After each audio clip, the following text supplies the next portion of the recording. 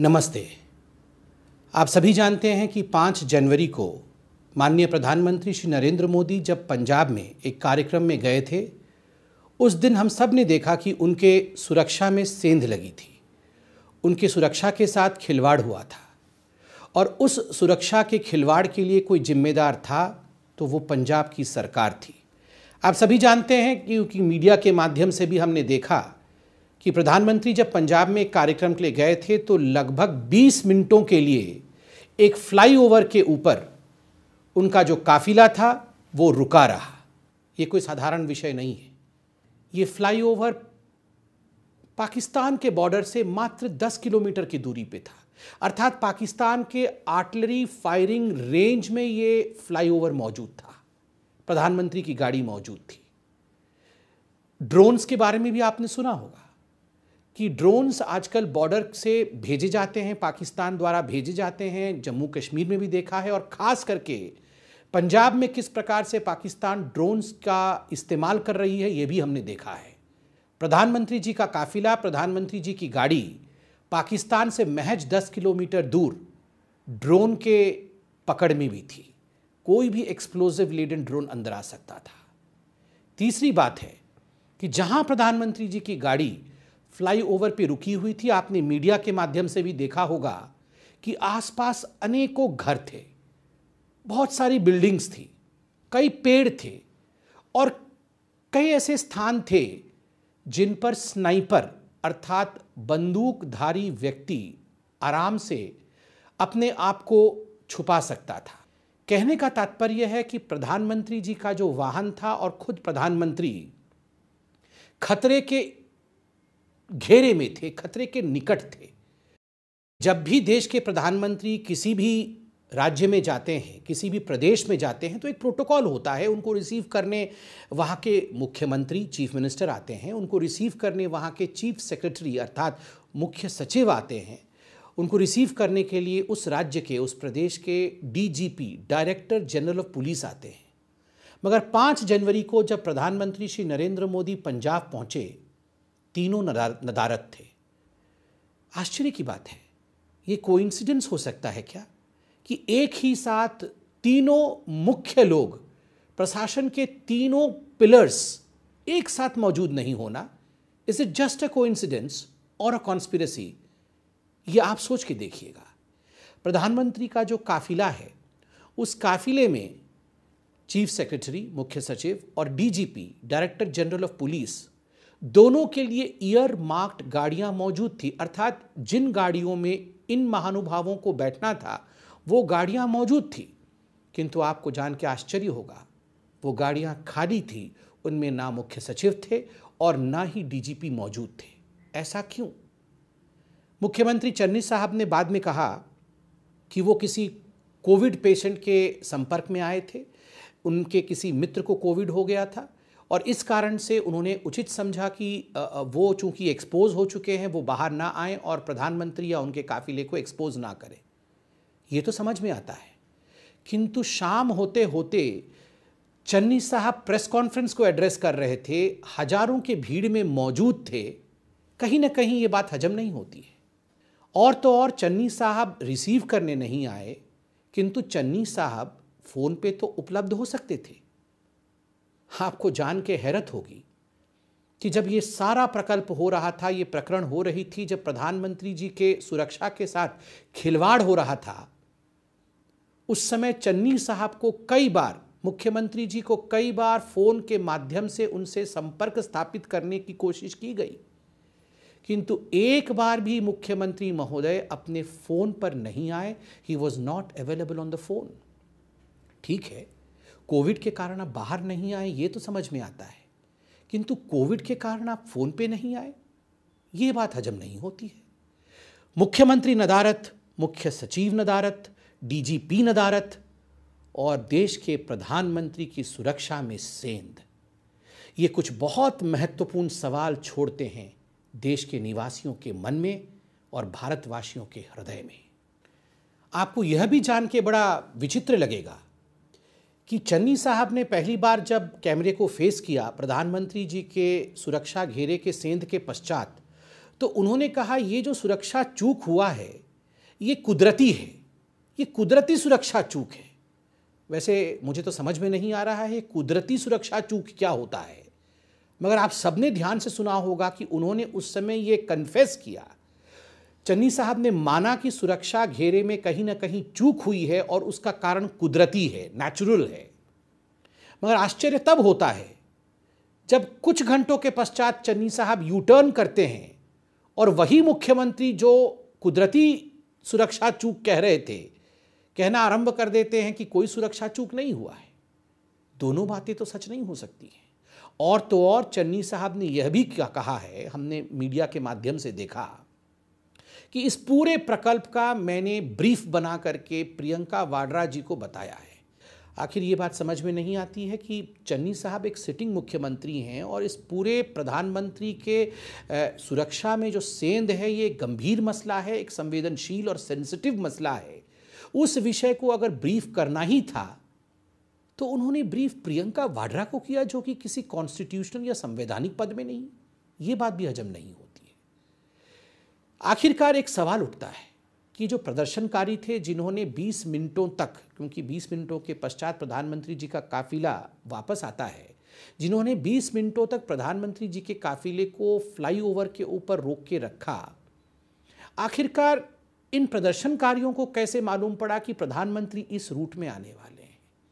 जो precise root जिसको अंग्रेज़ी में कहते हैं precise route how did those protesters learn about the precise route of the prime minister सटीक राह, जिस रास्ते पे प्रधानमंत्री आने वाले होते हैं, वो गुप्त रखा जाता है। वो किसी को बताया नहीं जाता है। इट इज़ नॉट डिस्क्लोज्ड किंतु दुखद विषय है, आश्चर्यजनक विषय है, चिंताजनक विषय है। आप सोच के देखिए, प्रधानमंत्री सटीक रूप से किस समय, किस सड़क पर चल रहे हैं, ये प्रदर्शनकारियों को पहले से पता था, वह भी एक शॉर्ट टाइम पीरियड के अंदर। एक बहुत कम समय के अंदर ये खबर प्रदर्शनकारियों तक पहुँचती है और वो पूरी व्यवस्था के साथ सड़क पर उतर जाते हैं। ये कैसे हो सकता है? जबकि इस विषय में केवल डीजीपी को पता था, क्योंकि एसपीजी के डायरेक्टर और डीजीपी के बीच सघन चर्चा हुई थी फ़ोन के माध्यम से, और ये निर्णय लिया गया था कि सड़क रूट से अब प्रधानमंत्री को जाना पड़ेगा, क्योंकि वेदर अच्छी नहीं है, मौसम ठीक नहीं है। तो सड़क के रूट से प्रधानमंत्री जाएँगे। ये विषय और किस सड़क के रूट से जाएँगे, ये केवल डीजीपी को पता था। उसके बाद ये प्रोटेस्टर्स कैसे जान गए कि प्रधानमंत्री किस रूट से जाने वाले हैं, ये भी समझने वाली बात है। दूसरा प्रश्न उठता है जो आज आम जनता पूछ रही है कि आखिरकार ये जो पंजाब पुलिस, ये जिस सेंध के लिए जिम्मेदार थी, सुरक्षा चूक के लिए जिम्मेदार थी, क्या उसकी एक मिली भगत है, कोनाइवेंस है, या फिर ये एक केयरलेसनेस या लापरवाही है? कोनाइवेंस और कैलसनेस लापरवाही या ज़िम्मेदारी? मिली भगत, क्या है? ये तो आप भी जान सकते होंगे कि आखिरकार ये एक बहुत गंभीर मसला है और हमने भी टीवी के माध्यम से देखा कि ये जो पुलिस थी, ये प्रदर्शनकारियों के साथ चाय पी रही थी। ये मीडिया ने भी दिखाया, लोगों ने वीडियो बना के डाला है। कोई भी पुलिस जो प्रधानमंत्री के सुरक्षा में तैनात हो, वो प्रदर्शनकारियों के साथ चाय पी रही हो। ऐसा तो नहीं हो सकता है? प्रदर्शनकारियों के साथ बैठकर हँसी ठाके लगाना, चाय पीना, ये ये ये विषय कुछ हजम नहीं हुआ।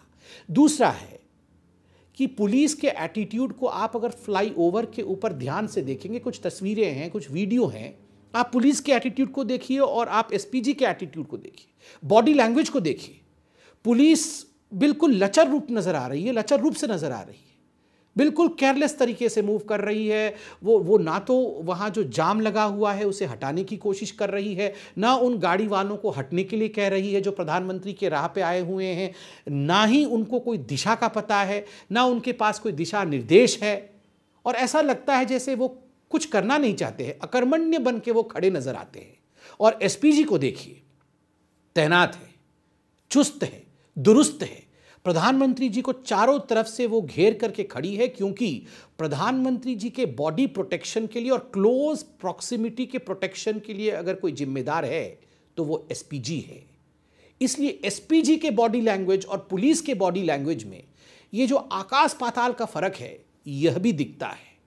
इसलिए यह सवाल उठता है कि आखिर ऐसे कैसे हो सकता है कि पुलिस बिल्कुल लचर हो, प्रदर्शनकारियों के साथ चाय पी रही हो पहले से प्रदर्शनकारी वहाँ पहुँचे हुए हैं। तो सवाल की मिलीभगत है पंजाब पुलिस और प्रशासन की, या ये पंजाब पुलिस और प्रशासन की लापरवाही है? इस सवाल का जवाब भी आज जनता ढूंढ रही है। चन्नी साहब का बार बार कहना, पहले तो वो कह रहे थे कि लैप्स हुआ है सिक्योरिटी में। उसके बाद जो यू टर्न हुआ कि किसी प्रकार से सिक्योरिटी लैप्स नहीं हुआ है, एक बात तो समझ में नहीं आता है। मुख्यमंत्री साहब, बड़े आदर के साथ हम पूछना चाहते हैं, अगर किसी प्रकार का सिक्योरिटी लैप्स नहीं हुआ, किसी प्रकार से कोई गलती नहीं हुई तो आखिरकार, जो एसएसपी फिरोजपुर के हैं, उनको क्यों सस्पेंड किया गया? उनको क्यों निलंबित किया गया? एक प्रश्न सबके मन में उठ रहा है और ये हमें बहुत दुखी करता है, अंदर से कचोटता है।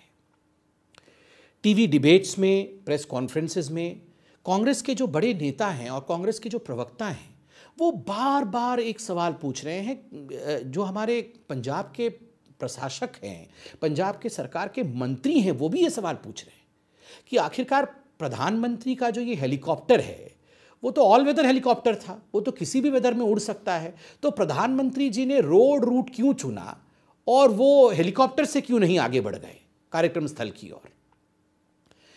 दुख इस बात का होता है कि हमने चंद हफ्तों पहले हमारे देश के वीर सैनिकों को खोया है। हमारे देश ने अपने प्रथम सीडीएस आदरणीय बिपिन रावत जी को खोया है। ऐसे ही एक हेलीकॉप्टर दुर्घटना में जब मौसम खराब था, जब जोखिमों को उठाते हुए हमारे वीर जवान उसी हेलीकॉप्टर में उड़ गए तो हमने उसका नतीजा देखा है। आखिर ये कांग्रेस सवाल क्यों पूछ रही है कि ऑल वेदर हेलीकॉप्टर है और प्रधानमंत्री को हेलीकॉप्टर में ही जाना चाहिए था? इसके पीछे का मंसूबा क्या है? इसका उत्तर भी कांग्रेस को देना चाहिए। कई लोग ये भी कह रहे हैं, कांग्रेस के नेता और खास करके जो नरेंद्र मोदी जी के प्रति और हिंदुस्तान के प्रति नफरत रखते हैं कि बस बीस ही मिनट तो था। बीस मिनट के लिए प्रधानमंत्री क्या एक जाम में नहीं फंस सकते? बीस मिनट में क्या हो जाएगा? दो मिनट। केवल दो मिनट चाहिए होता है अनहोनी को घटित होने के लिए। किसी ड्रोन को आने के लिए, किसी आर्टलरी को आने के लिए, किसी स्नाइपर के लिए दो मिनट काफ़ी होता है। हिंदुस्तान ने अपने प्रधानमंत्रियों को खोया है। सुरक्षा चूक के कारण अपने प्रधानमंत्रियों को खोया है। ये एक बेफिक्री से केयरलेसनेस से भरा हुआ सवाल है कि 20 मिनट में क्या हो जाएगा। एक और बात कही जाती है। कांग्रेस के नेता, प्रवक्ता ये भी कह रहे हैं, कुछ हुआ तो नहीं? मुख्यमंत्री तक ये कह रहे हैं, किसी ने पत्थर तो नहीं मारा, किसी ने गोली तो नहीं चलाई, किसी ने बम तो नहीं फोड़ा, कुछ हुआ तो नहीं। अरे कुछ हो जाता, कुछ हो जाता तभी ये देश डिस्कशन करता क्या? ये महादेव की कृपा है। ये 135 करोड़ जनता का आशीर्वाद है कि 20 मिनटों तक सुरक्षा चूक के बावजूद प्रधानमंत्री बिना किसी खरोंच के वहाँ से निकल कर आ गए। इसका अर्थ ये नहीं है कि कुछ होने के पश्चात ही हम डिबेट और डिस्कशन करें। किस प्रकार से भविष्य में इस प्रकार की अनहोनी ना हो, इसलिए एक जिम्मेदार देश समय रहते इन सब विषयों पर चर्चा करता है। आज ऐसे ही नहीं हो रहा है। कई नेता जो भारतीय जनता पार्टी के नहीं हैं, कई पूर्व डीजीपी, बड़े पुलिस अधिकारी, कई प्रशासनिक अधिकारी जो बीजेपी से कोई वास्ता नहीं रखते, हमारे आइडियोलॉजी के नहीं है उन लोगों ने राष्ट्रपति महोदय तक को चिट्ठी लिखा है। उन्हें तकलीफ़ होती है कि हिंदुस्तान जैसे बलिष्ठ देश, हिंदुस्तान जैसे डेमोक्रेटिक कंट्री में यदि प्रधानमंत्री की सुरक्षा में सेंध पड़ सकती है तो एक आम जनता सुरक्षित कैसे रह सकता है? और तो और देश के सर्वोच्च न्यायालय, सुप्रीम कोर्ट ने इस पूरे विषय को गंभीरता से सुना है, अब भी सुन रही है।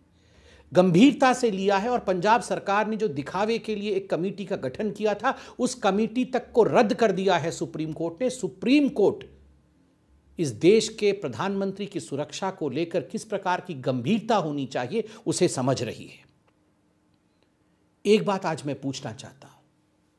कांग्रेस की जो ये एटीट्यूड है हेट मोदी मोदी से घृणा, मोदी जी से नफरत, आखिर क्यों?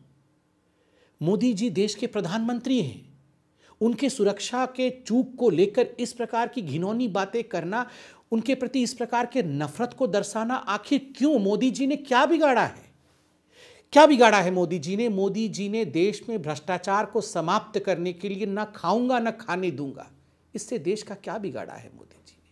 मोदी जी ने परिवारवाद की राजनीति को समाप्त कर दिया। इससे क्या बिगड़ गया देश का? कुछ नहीं बिगड़ा देश का।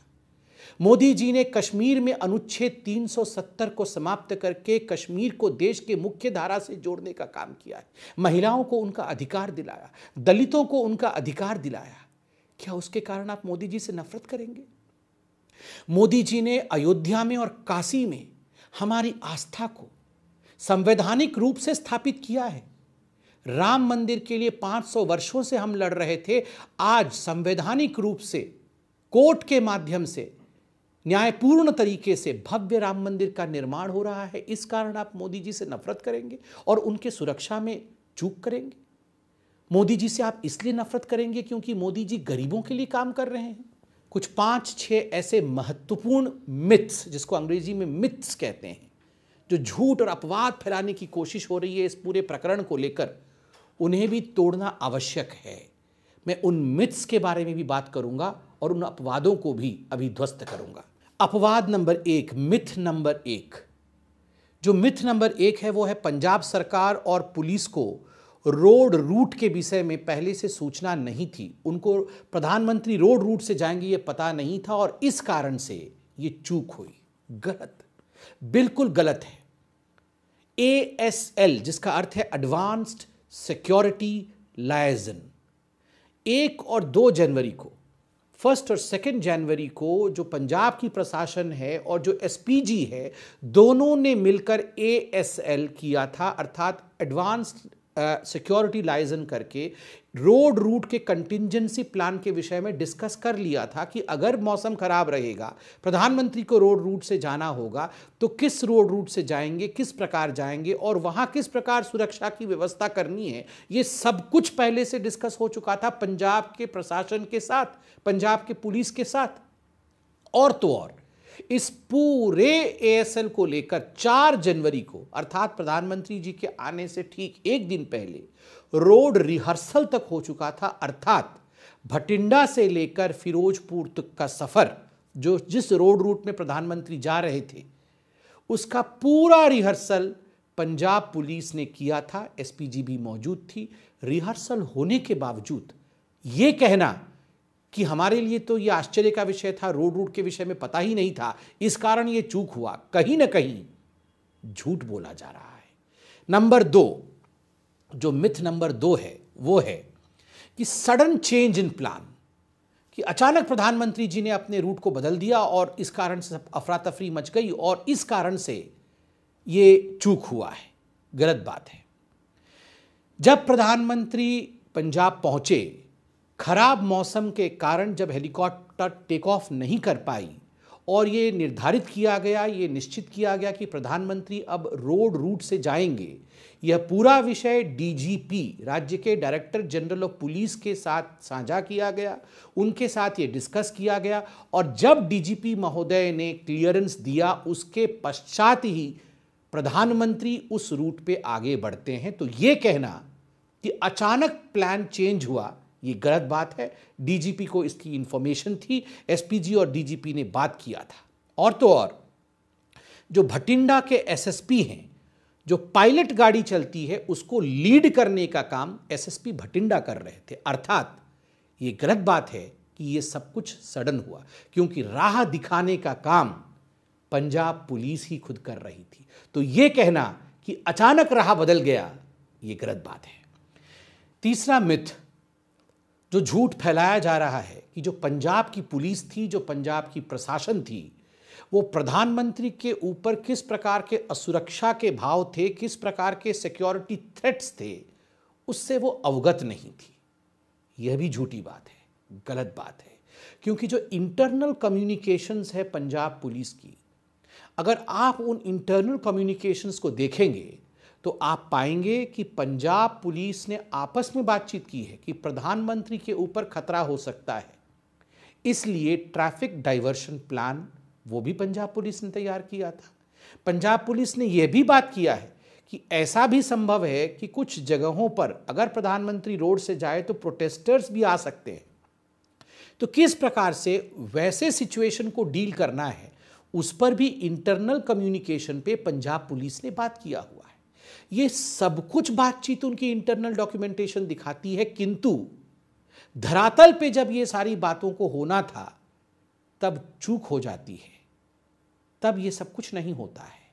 तो ये कहीं ना कहीं जो मिथ फैलाया जा रहा है, जो झूठ फैलाया जा रहा है कि प्रधानमंत्री के ऊपर किस प्रकार के खतरे थे, इससे पंजाब पुलिस अभिन्न थी, वो जानती नहीं थी, ये गलत है। वो जानती थी मगर उन्होंने कुछ किया नहीं। चौथा मिथ या चौथी झूठी बात जो फैलाई जा रही है इस पूरे प्रकरण में, कि प्रधानमंत्री को बचाने का काम केवल और केवल एसपीजी का है। पंजाब पुलिस का इसमें कोई रोल नहीं है। सरासर गलत और यहाँ मैं तो कागज़ का भी सहारा लूँगा और पढ़ के भी सुनाऊँगा। आप सबने सुना होगा, अभी मीडिया में भी चल रहा होगा एसपीजी के ब्लू बुक के बारे में। एसपीजी की एक ब्लू बुक होती है और उस ब्लू बुक में नियम उद्धृत होते हैं नियम लिखे जाते हैं उस ब्लू बुक के क्या नियम है मैं पढ़ के सुनाता हूँ chapter one rule number one the overall responsibility for ensuring the safety of prime minister rest with the state government and the responsibility for providing proximate security rests with the SPG, SPG Act 1988. मतलब जो प्रधानमंत्री की सुरक्षा का जो overall charge है उसके लिए कोई जिम्मेदार है तो पंजाब पुलिस और पंजाब की सरकार पंजाब का प्रशासन था। प्रॉक्सीमेट बॉडी सिक्योरिटी के लिए, एकदम पास की सिक्योरिटी के लिए एसपीजी जिम्मेदार थी और एसपीजी वो कर रही थी, वो हमने फ़ोटो और वीडियो के माध्यम से देखा है। Chapter one rule number two states क्या बताती है वो? The state police shall make all protective arrangement for the security and safety of PM PM के सिक्योरिटी और सेफ्टी के लिए कोई भी प्रावधान करने हैं तो वो स्टेट की पुलिस राज्य की पुलिस करेगी एसपीजी नहीं करेगी। On chapter one rule number five ये क्या बताती है? Implementation of this rules will be the responsibility of the DGP of the state जो डायरेक्टर जनरल ऑफ़ पुलिस हैं, उनकी ये ज़िम्मेदारी है कि ये जो रूल्स हैं, उनको ग्राउंड पे लागू कराएँ और अपनी पुलिस से लागू कराएँ। ये ज़िम्मेदारी डीजीपी की है। पुलिस भी चूकी डीजीपी भी चुकी चुके और इसी के कारण से प्रधानमंत्री जी के सुरक्षा में सेंध हुआ है। जो अंतिम मिथ है द फिफ्थ मिथ जो पांचवा झूठी बात यहाँ फैलाई गई है, वो है कि पंजाब पुलिस ने अच्छा काम किया है और पंजाब पुलिस ने प्रधानमंत्री जी की सुरक्षा का पूरा ध्यान रखा है। सरासर गलत। आपको जान के आश्चर्य होगा कि अगर बाकी तो मैंने पूरा समझाया ही, केवल कंट्रोल रूम पंजाब पुलिस का जो कंट्रोल रूम है, वो कंट्रोल रूम ही केवल फ़ोन करके जो पायलट गाड़ी थी उसको बता देती कि फलाने फ्लाईओवर के ऊपर प्रदर्शनकारी और जाम मौजूद है। प्रधानमंत्री जी के रूट को डाइवर्ट कर दिया जाए, यहाँ नहीं आने दिया जाए तो प्रधानमंत्री जी की गाड़ी उस फ्लाईओवर के ऊपर 20 मिनटों तक नहीं फंसी होती और वो एक खतरनाक स्थल पर जाके नहीं पहुँचते, जहाँ कुछ भी हो सकता था। मगर कंट्रोल रूम भी चुक गई। और तो और, पुलिस जिस प्रकार की अकर्मण्यता में दिखी इन एक्टिव पुलिस। चाय पी, प्रदर्शनकारियों के साथ चाय पीती हुई पुलिस, बॉडी लैंग्वेज देखिए पुलिस की। पुलिस कहीं तैनात ही नज़र नहीं आ रही थी प्रधानमंत्री के आसपास, जबकि आप सोचिए, आप और हम अगर पुलिस में होते और हमारे देश के प्रधानमंत्री कहीं अचानक इस प्रकार सड़क के बीचों बीच फंस गए होते तो स्वाभाविक प्रक्रिया होती है, दौड़ करके घेर लेना चारों तरफ़ से, ताकि हमारे देश के प्रधान के ऊपर, प्रधान सेवक के ऊपर किसी प्रकार का कोई खतरा न मंडराए। मगर पुलिस का जो व्यवहार था, वो हमने देखा। पुलिस लचर नज़र आ रही थी, अकर्मण्य नज़र आ रही थी। बंधुओं, में अंत में इतना ही कहना चाहूँगा। देश के प्रधानमंत्री किसी पार्टी के प्रधानमंत्री नहीं होते। देश के प्रधानमंत्री राष्ट्र के प्रधानमंत्री होते हैं, हमारे देश के गौरव होते हैं। 135 करोड़ के जनता के प्रेम के कारण नरेंद्र मोदी जी को चुना गया है। अगर हम अपने देश के प्रधानमंत्री की सुरक्षा के प्रति उनके वेलबींग के प्रति, कानून के प्रति, नियमों के प्रति अवगत नहीं रहेंगे, उनके सुरक्षा के साथ खिलवाड़ करेंगे तो इस देश में एक आम जनता भी सुरक्षित नहीं है। कुछ विषय राजनीति से ऊपर होते हैं और कुछ विषय राष्ट्रनीति के होते हैं। धन्यवाद।